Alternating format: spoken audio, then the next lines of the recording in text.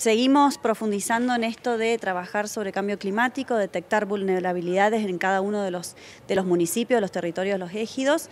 También trabajamos en la gestión integral de los residuos sólidos urbanos, cómo están gestionando cada uno de los municipios, qué necesidades tienen también, ¿no? qué, demandas eh, en cómo mejorar y hacer también más eficiente su gestión. Todo lo que es el avance urbano, cómo se van ellos planificando también, proyectando y cómo ese avance urbano quizás eh, eh, trae algunas ah, situaciones cuando hay una interfase con bosque nativo. La idea es que una vez que terminemos esta primera ronda, nos quedan tres reuniones más, tres departamentos más, vamos a volver a hacer una asamblea general del COPROMA, así como la que hicimos en la Semana del Ambiente, que, es cuando reactivábamos este espacio, para poder hacer la devolución de todo lo que hemos ido recabando de información y por supuesto poder acordar ahí cuáles son las acciones a seguir con toda esta información que hemos, que hemos relevado. Nosotros, bueno, en tiempos anteriores la, basura se tiraba hacia lo abierto, a la costanera del río, y cuando asumimos firmamos un convenio que se tira, bueno, ahora en una planta recicladora, que la basura es reciclada.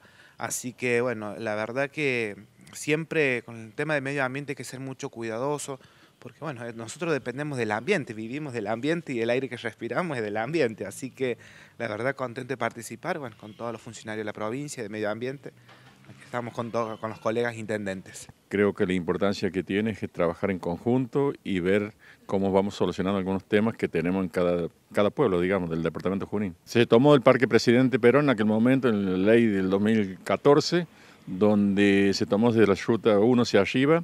Creo que tanto Los Molles tiene hasta el pie de la Comechingones, tenemos tres kilómetros, y donde estamos planteando, y yo estoy planteando para ver si podemos achicar la medida de los lotes, porque en realidad era una hectárea y media y creo que merecemos un estudio entre todos. Estamos trabajando mucho con el tema de los residuos sólidos urbanos, con la planta de, de lo que es la planta de tratamiento de eh, fuentes cloacales, que tenemos una planta de tratamiento cloacales muy importante y está trabajando muy bien. Así también como eso, estamos trabajando con las podas, como estuvimos hablando recién, que ya me va a tocar el turno a mí. Creo que es muy importante trabajar en conjunto y que podamos dialogarlo de mano a mano y, y buscando las soluciones para cada pueblo, creo que es muy importante. Muy productivo, sobre todo en estos pueblos, los pueblos de, la costa de los Comechingones, que tienen un crecimiento exponencial y que necesitamos principalmente saber, porque ellos nos vienen a instruir, para poder aplicar las políticas de desarrollo urbanístico en, las distintas localidades. Somos bastante estrictos teniendo en cuenta esta, cuestión del, crecimiento. Eh, tenemos varias ordenanzas y somos muy, cautos a la hora de, hacer la proyección de un loteo, a la hora de, de hacer la limpieza un parcelamiento, eh, respecto de las campañas de, concientización para la separación de los residuos en origen. el municipio de Carpintería y principalmente nuestra gestión está abocada y tiene una conciencia ambiental que eso es muy importante. El caso que, tenemos ahora es con el barrio privado de Las Cascadas, en virtud de, una resolución que hay eh, del año 2004 y bueno, nosotros le hemos pedido a San Luis Agua que, se respete esa, resolución porque es muy explícita.